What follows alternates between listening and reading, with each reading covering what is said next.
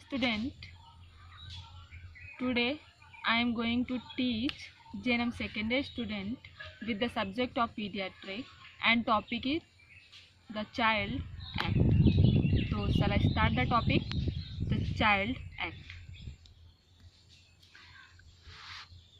तो बच्चे स्टार्ट करते हैं the child act child act मतलब बच्चों के नियम the children act of 1960 amended in 1977 जो चाइल्ड एक्ट है, ये कब बनाया गया था? जो चिल्ड्रन के अकॉर्डिंग जो एक्ट थे, वो कब बनाए गए थे? 1960 में बनाए गए थे। मतलब 1960 में ये स्टार्ट हुआ था एक्ट बनाया गया था लेकिन इसका अमेंडेड मतलब संशोधन इसका संशोधन कब हुआ? 1977 में हुआ। मतलब जो चिल्ड्रन एक्ट है वो 1960 में स्टार्ट हुआ था लेकिन उसका संशोधन होकर वो दोबारा कब स्टार्ट हुआ? 1977 में। इसमें मेनली हम लोग मतलब जो अ, लोग होते हैं जो मतलब केयर प्रोवाइडर्स होते हैं वो क्या क्या करते हैं? इस एक्ट के अंदर क्या क्या आता है?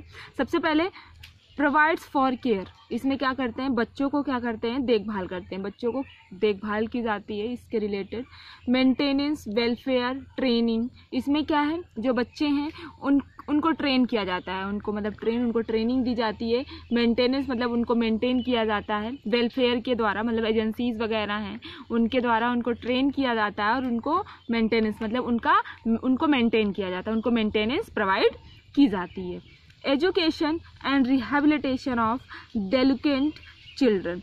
इसमें क्या होता है? जो बच्चे होते हैं, उनको शिक्षा प्रदान की जाती है एजुकेशन दिया जाता है। रिहेबिलिटेशन मतलब उनको पुनर्वास के लिए भेजा जाता है। और साथ में क्या होता है?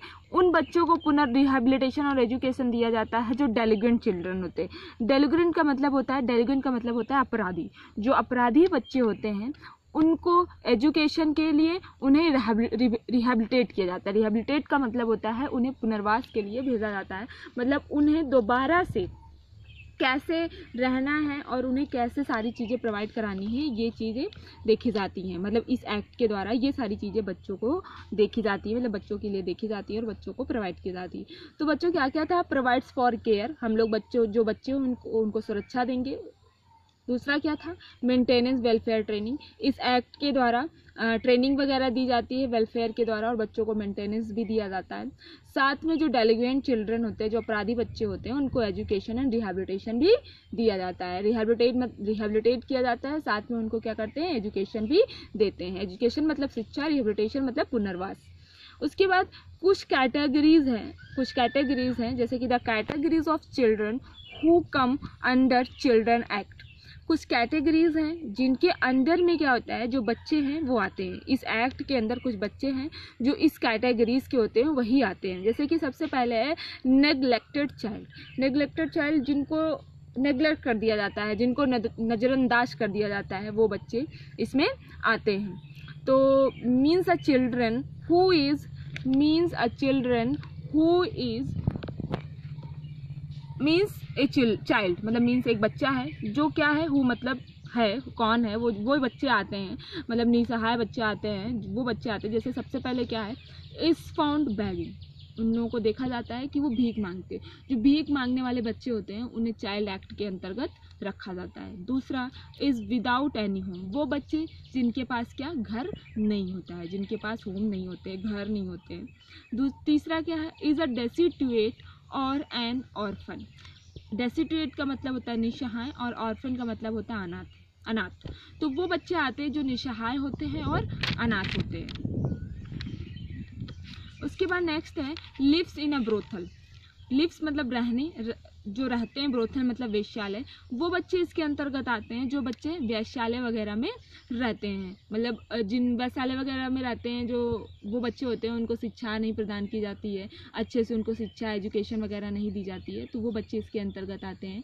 उसके बाद नेक्स्ट है is expose to moral danger या फिर वो बच्चे आते हैं मोरल मतलब नैतिक एक्सपोज मतलब उनको दिखाना डेंजर मतलब खतरे में। तो वो बच्चे आते हैं जिनके, जिनका नैतिक जो है वो खतरे के संपर्क में होता है एक्सपोज मतलब संपर्क में होता है। वो बच्चे आते हैं जिनका नैतिक, जिनका मॉरल जो होता है, वो किसके संपर्क में है डेंजर होता है। मतलब बहुत सारे बच्चे होते हैं ना, छोटे से बच्चों में वो क्राइम करना स्टार्ट कर देते हैं। छोटे छोटे बच्चे होते हैं, उनको उनको मॉरल नहीं होती, उनकी नैतिकता उनको नहीं सिखाई जाती, उनको एजुकेशन नहीं प्रोवाइड की जाती है। तो ऐसे जो बच्चे होते हैं, उनका जो मॉरल होता है, वो खतरे में होता है। तो इस एक्ट के द्वारा, ये जो चाइल्ड एक्ट चलाया गया है जो जो चिल्ड्रन एक्ट है, या फिर जो बच्चों का है, वो इन बच्चों के ऊपर मेनली फोकस करता है। कौन कौन से बच्चे हैं? नंबर एक, जो फाउंड बैंगिंग जो भीख मांग, मांगने वाले बच्चे होते हैं, उन, उनमें मेनली उनको फोकस किया जाता है। दूसरा है विदाउट एनी होम जिनके पास कोई घर नहीं होता है। तीसरा है डेस्टिट्यूट ऑर्फिन जो बच्चे क्या होते हैं? निशहाय होते हैं और अनाथ होते हैं। लिव्स इन अब्रोथल जो ब्रोथल मतलब वैश्यालय, जो वैश्यालय वगैरह में रहते हैं। और next expose to moral danger और जिनका नैतिक जो होता है, वो खतरे में होता है, जो उनका नैतिकता जो होती है, वो खतरे के संपर्क में होती है तो उन बच्चों को चाइल्ड एक्ट के अंतर्गत रखा जाता है। उसके बाद कुछ सर्विसेज़ हैं, जो प्रोवाइड्स की जाती हैं ऐसे बच्चों को। ऐसे जो बच्चे होते हैं नेग्लेक्टेड चाइल्ड वगैरह होते हैं, जिनको कुछ सर्विसेज़ हैं, जो हेल्प वगैरह है, उनको प्रोवाइड की जाती है। जैसे सबसे पहले such neglected children can be taken charge of by the police probation officer और superintendent of observation home. Such neglected children मतलब जो नज़रअंदाज किए हुए बच्चे होते हैं can be taken charge of by the police ऐसे बच्चों को क्या करता है, जो भी चार्ज वगैरह होता है, वो वो कौन ले लेता है? पुलिस ले लेती है, जो वहाँ की पुलिस होती है, जहाँ की जहाँ के बच्चे होते हैं, वहाँ की पुलिस उन बच्चों को अपने अंडर में रखती है। Probation officer of superintendent probation officer का मतलब होता है, परि परिवीक्षा अधिकारी प्रोवेशन ऑफिसर हो, मतलब होता है प्रोवेशन ऑफिसर का मतलब होता है जो परिवीक्षा अधिकारी होती है उनके अंडर में रखते हैं या फिर सुप्रिटेंडेंट ऑफ़ ऑब्जर्वेशन होम या भी जो सुप्रिटेंडेंट मतलब अधीक्षक जो ऑब्जर्वेशन होम के जो होम जो होम जहाँ पे वो लोग रखे जाते हैं जो बच्चे जो जहाँ घर पे वो रखे जाते हैं वो जो ऑब्जर्वेशन मतलब जो उनको देखते हैं जो उनका देखभाल करते हैं जो उनके ऊपर नज़र रखते हैं सुप्रिटेंडेंट वगैरह उन सारे लोग क्या करते हैं, उन बच्चों का चार्ज लेते हैं। तो मतलब नेग्लेक्टेड चिल्ड्रन जो हमने अभी पीछे बताया कौन कौन से नेग्लेक्टेड चिल्ड्रन होते हैं, उनको हम, उन उन बच्चों का जो चार्ज होता है, वो पुलिस ले लेती है वहाँ की पुलिस ले लेती है जहाँ के वो बच्चे रहने वाले होते हैं। प्रोविज़न ऑफिसर वगैरह होते हैं सुप्रिटेंडेंट वगैरह होते हैं, जो उनका ऑब्जर्वेशन करते हैं, एक होम में रखा जाता है उनको और उनका ऑब्जर्वेशन किया जाता है। ऐसे बच्चों को ऑर्फनेज वगैरह में रखते हैं या फिर ऐसे बच्चों को लोग अडॉप्ट कर लेते हैं अडॉप्शन वगैरह में रख लेते हैं। तो यही सारे बच्चे होते हैं जिनको लोग अडॉप्ट कर लेते हैं, जिनके बच्चे नहीं होते हैं। और नेक्स्ट है such children should be produce before a juvenile court sorry बच्चों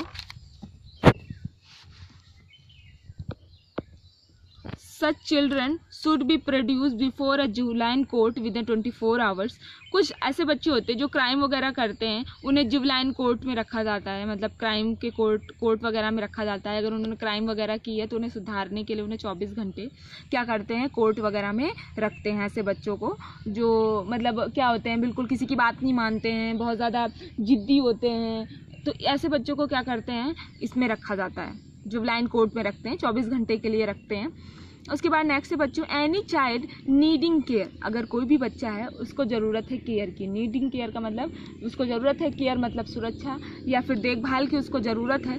प्रोटेक्शन मतलब सुरक्षा की ज़रूरत है and treatment falls under the purview of the children act उनको तो कुछ बच्चे होते हैं, जो ऐसे बच्चे होते हैं जो नेग्लेक्टेड चिल्ड्रन होते हैं तो उनको क्या करते हैं, जिनको ज़रूरत होती है केयर की, उन्हें केयर प्रोवाइड की जाती है. प्रोटेक्शन एंड ट्रीटमेंट अगर जिन बच्चों को सुरक्षा की ज़रूरत होती है, देखभाल, इलाज की ज़रूरत होती है, उनको उनको भी सुरक्षा और इलाज वगैरह दिया जाता है under the purview of the children act और ये सारी चीज़ें किसके किसके अंतर्गत की जाती है? चाइल्ड एक्ट मतलब जो बच्चे होते हैं, उनके नियम के अंतर्गत, जो चाइल्ड नियम लगाया गया, जो बच्चों का नियम लगाया गया, उसके अंतर्गत उन्हें केयर और उन्हें प्रोटेक्शन और उन्हें ट्रीटमेंट दिया जाता है। तो बच्चों, हमने क्या पढ़ा? ये जो चिल्ड्रन एक्ट है, वो कब जो चिल्ड्रन एक्ट है वो चलाया गया था 1960 में, लेकिन उसका संशोधन कब हुआ था? 1977 में हुआ था। इनमें सारे बच्चों को केयर केयर प्रोवाइड की जाती है। उन्हें वेलफेयर ट्रेनिंग मेंटेनेंस वगैरह में रखा जाता है एजुकेशन देते हैं। डेलीगेंट चिल्ड्रन को क्राइम करने वाले बच्चों को कुछ कैटेगरीज हैं जिनके जिनके लिए मेनली चिल्ड्रन एक्ट लगाया गया था। जैसे नेग्लेक्टेड चिल्ड्रन हो गया ये सारे फाउंड बैगिंग जिनके पास घर नहीं होता, जो असहाय होते हैं, जो अनाथ होते हैं, जो वेश्यालय में रहते हैं, जो उनका नैतिक डेंजर में होता है, वो बच्चे कुछ सर्विसेज़ है जो प्रोवाइड की जाती है पुलिस के द्वारा की जाती हैं और जो जुविलाइन जो बच्चे जुविलाइन डेलीगेंट के अंदर आते हैं, जो क्राइम वगैरह करते हैं, उन्हें जुविलाइन कोर्ट में ट्वेंटी फोर आवर्स के लिए रखा जाता है सुधारने के लिए ताकि वो वो वो चीज़ें दोबारा से न करें, वो गलतियाँ दोबारा से न करें और इस एक्ट के अंदर हम बच्चों को केयर प्रोवाइड कराते हैं, उन्हें ट्रीटमेंट देते हैं, प्रोटेक्शन देते हैं और अगर किसी अगर किसी बच्चे को कोई दिक्कत है तो उसको भी हम लोग सॉल्व करते हैं। तो बच्चों, ये था आज का topic child act the child act अगर इससे रिलेटेड आपको कोई भी डाउट है तो आप हमसे क्लियर कर सकते हैं। Thank you so much